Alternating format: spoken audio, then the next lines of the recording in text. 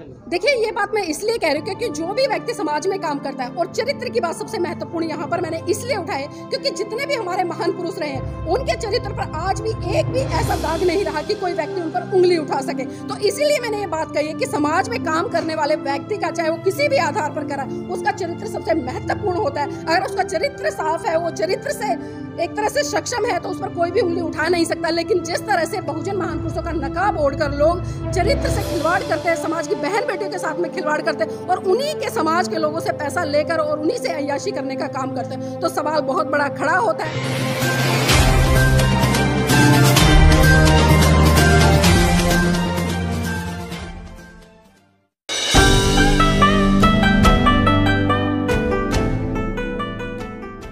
Madam आपके channel पे एक वीडियो लगी है और उसमें बड़े गंभीर आरोप आपने लगाए हैं किसी बहुजन नेता पर। क्या है वो पूरा मामला? देखिए आरोप नहीं है वो, क्योंकि मैं कोई भी बात करती हूँ, क्योंकि मैं मीडिया में भी काम करती हूँ और मैं तथ्य के आधार पर, सबूतों के आधार पर ही किसी बात को रखती हूँ। और उसी कड़ी में मैंने जो वीडियो डाला है, बिल्कुल मैंने स्पष्ट कहा है, क्योंकि आज हम देख रहे हैं कि बहुजन समाज में बहुत सारे नेता ऐसे निकल कर आ रहे हैं, जो महान पुरुषों की बात करते हैं, बाबा साहब की बात करते हैं, साहब काशीराम जी की बात करते हैं, उनके आंदोलन को आगे बढ़ाने की बात करते हैं, या बहुजन समाज में जितने भी संत महान पुरुष जन्मे हैं, उनको आगे बढ़ाने की बात करते हैं। लेकिन अगर हम उनका दूसरा चेहरा देखें, उस चेहरे के अलावा जिस चेहरे को उन्होंने बहुजन महान पुरुषों से ढका हुआ है, अगर हम उस चेहरे की बात करें तो कहीं ना कहीं वो हमें समाज के उभरते हुए नेता नज़र आते हैं। हम उन पर विश्वास स्थापित करते हैं। हम उनको एक आदर्श नेता के रूप में देख रहे हैं कि हाँ कल को आने वाले भविष्य में ये लोग देश की कमान को संभालेंगे और बहुजन समाज को एक अच्छी सही दिशा और दशा देने का काम करेंगे लेकिन वही जब उनका दूसरा चेहरा, वो चेहरा जो समाज से छुपा हुआ है, समाज के सामने नहीं है, लेकिन पिछले कई महीने से लगातार एक समाज की बिटिया है जो कि मेरे संपर्क में थी, उसने कई बार मुझे फ़ोन भी किया, मिलने के लिए भी बुलाया।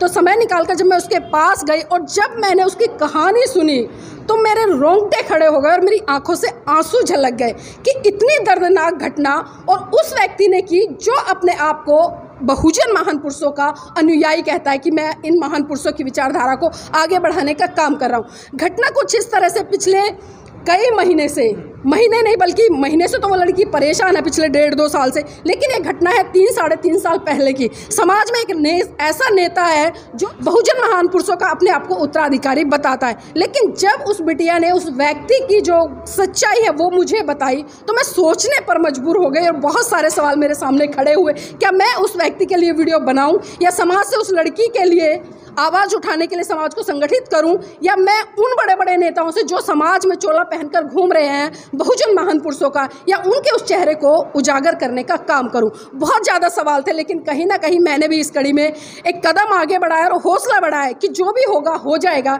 लेकिन मुझे उस बिटिया के जीवन से जो खिलवाड़ हुआ है, उसकी भावनाओं के साथ में जो खिलवाड़ हुआ है, उसके साथ में जो शारीरिक शोषण हुआ है, उससे उसको न्याय दिलाकर और समाज में जितनी बहन बेटियाँ, क्योंकि आजकल हम देख रहे हैं कि समाज में जो लोग काम कर रहे हैं, समाज की बहन बेटियाँ बहुत ज़्यादा प्रभावित हो जाती है कि ये व्यक्ति मिशन मूवमेंट में काम कर रहा है, बहुजन महान पुरुषों की बात करता है या किसी भी पार्टी किसी भी संगठन के साथ में जुड़कर या ना जुड़कर उसको आगे बढ़ाने की काम बात करता है। तो इन चीज़ों से कहीं ना कहीं बहुजन समाज की जो बेटियाँ हैं वो बहुत ज़्यादा प्रभावित होती ऐसा हैं। तो हो सकता है पहले उनका समझौता हुआ हो अब समझौते पे बात नहीं बननी हो।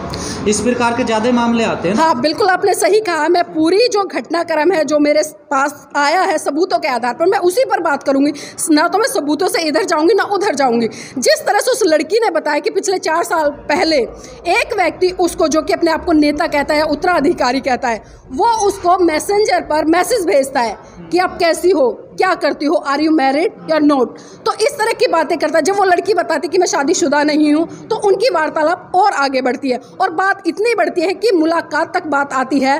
और वो व्यक्ति उस लड़की को ये कहता है कि मेरे ऑफ़िस में चलो, कुछ पदाधिकारी आए हैं और वहाँ पर मिलूँगा, मैं दस मिनट के बाद तुम्हें छोड़ दूँगा। वो लड़की पहले कई बार उससे मना करती है मिलने के लिए। वो कहती है, अगर शादी करोगे तो ही मैं आपसे बात करूँगी, अपने पिताजी के साथ या अपने घर वालों के साथ। लेकिन वो कहता है, मिलने में कुछ नहीं जाता। वो लड़की जाती है उसके ऑफ़िस पर। लेकिन होता क्या है? वो उस लड़की ने बताया कि उसके ऑफ़िस पर कोई भी व्यक्ति नहीं होता है। ना तो कोई संगठन का पदाधिकारी होता है, ना किसी पार्टी का पदाधिकारी होता है। उसका जो ऑफ़िस है, ऑफ़िस नहीं, बल्कि वो अपने रूम पर लेकर जाता है, जहाँ वो रह रहा होता है।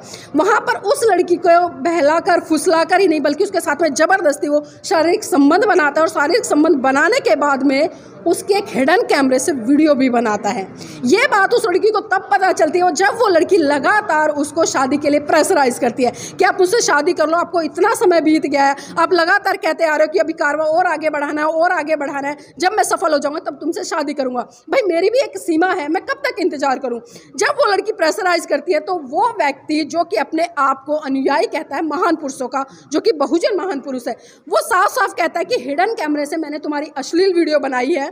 अगर तुम ज़्यादा करोगी तो इसको मैं सोशल मीडिया पर वायरल कर दूँगा। मतलब फिर देख नहीं हो रही है कुल मिला का मतलब हाँ अब उसने बिल्कुल साफ़ साफ़ मना कर दिया है शादी करने के लिए जो कि अपने आप को नेता कहता है या कुछ भी कहता है उस व्यक्ति ने साफ़ साफ़ उस लड़की को मना कर दिया और जब उस लड़की को मना किया तो उस लड़की ने कहीं ना कहीं एक न्यायालय से उम्मीद लगाई पुलिस प्रशासन से उम्मीद लगाई क्योंकि उसके साथ में जिस तरह से सारी है। हाँ इस मामले में एफआईआर भी हुई है केस भी चल रहा है मैं आपको बता दूँ केस भी चल रहा है कोर्ट में और इतना ही नहीं जब वो लड़की बेचारी आती है क्योंकि उसके पास में संसाधन नहीं है पैसे नहीं है छोटे मोटे जो भी उसने एडवोकेट्स कर रखे हैं प्राइवेट है एक दो एडवोकेट्स उसके साथ में आते हैं लेकिन जब वो व्यक्ति कोर्ट में आता है जो कि अपने आप को नेता कहता है उसके साथ में कम से कम चालीस, पचास वकील आते हैं। और ये देखिए, इसमें एक चीज़ और है, पुलिस प्रशासन से लेकर कोर्ट तक के उस लोग सभी लोगों को उसने खरीद रखा है। मतलब उस व्यक्ति का दबदबा इतना है कि वो लड़की अभी पिछली डेट से आई थी, उसने बताया थिंक सत्रह तारीख की उसकी डेट थी, कोर्ट से लौट रही थी। उस व्यक्ति ने उस लड़की पर एक मुकदमा दायर किया, उसको बोलता है कि भाई, इसने मेरे से आठ नौ लाख रुपए लिए थे, अब ये मेरे पैसे दे नहीं रही है। लेकिन सात तारीख को खारिज हो जाता है वो मुकदमा, लड़की के फेवर में जाता है। वो पूरे तथ्य और सबूतों के आधार पर कहती है, भाई, मैंने इससे एक पैसा भी नहीं लिया है। ये पूरा मामला उस लड़की के फेवर में जाता है। और फिर होता क्या, वो लड़की वहाँ से आ रही होती है तो उसी व्यक्ति की गाड़ी से जैसा उस लड़की ने बताया उसी व्यक्ति की गाड़ी से हथियार निकालकर उस लड़की पर जानलेवा हमला किया जाता है। कोर्ट में है। हाँ पूरा मामला कोर्ट में चल रहा है लेकिन विडम्बना तो ये है। कि समाज के जो बेटिया बेटे हैं वो उजागर रहे हैं मतलब बिल्कुल। होशियार रहे हैं लोगों मैं चाहती हूँ कि ये घटना बहुत बड़े स्तर पर सामने निकल कर आनी चाहिए और जो व्यक्ति इस तरह की घटनाओं को अंजाम दे रहा है उसका भी चेहरा उजागर होना चाहिए तो कि ताकि समाज में जो लोग मिशन मूवमेंट के नाम पर उनको लाखों करोड़ों रुपए डोनेशन देते हैं ये सोचना पड़ेगा कि वो लाखों करोड़ों रुपए डोनेशन मिशन मूवमेंट पर ना लगकर बल्कि उनकी खुद की अयाशियों पर लग रहा है। ये बहुत बड़ा सवाल है और समझना पड़ेगा यहाँ पर लोगों को कि जो लोग किसी भी व्यक्ति को आदर्श के रूप में देखने लग जाते या उनके अंदर महान पुरुषों की छवि देखने लग जाते। लेकिन जब सच्चाई सामने आती है तो लोगों को उनका बायकाट कर देना चाहिए। क्योंकि हम देखते हैं कि समाज में जब विश्वास बनता है, क्योंकि बाबा साहब के जीते जी लोग विश्वास स्थापित नहीं कर पाए। साहब काशीराम के जीते जी लोग स्थापित नहीं कर पाए विश्वास। लेकिन जब लोगों में विश्वास आया और जिस तरह से इस व्यक्ति पर, बहुजन समाज के लोगों ने बहुत बड़े स्तर पर विश्वास किया तो हमने देखा कि वो विश्वासघात किस तरह से टूटा। और जब टूटता है विश्वासघात तो कहीं ना कहीं समाज को बहुत बड़े स्तर पर नुकसान होता है और लोग विश्वास स्थापित करने में फिर कहीं ना कहीं हम देखते कि कोसों दूर नज़र आते लेकिन यहाँ पर एक सवाल ये भी है, क्योंकि कुछ लोग ये भी कह रहे हैं कि उस लड़की की भी कहीं ना कहीं गलती है। देखिए, गलती है हो सकता है मैं मान रही हूँ उसकी गलती है लेकिन यहाँ पर यह भी चीज़ें देखनी पड़ेगी कोई भी व्यक्ति जब किसी को प्रभावित करता है अपनी पद प्रतिष्ठा से या उसको लगातार शादी का हवाला देता है उसके साथ में सपने संजोता है और ये चीज़ें मैं इसलिए बोल रही हूँ क्योंकि उसकी वीडियो रिकॉर्डिंग जो कि रिकॉर्डिंग है वो भी हमारा है।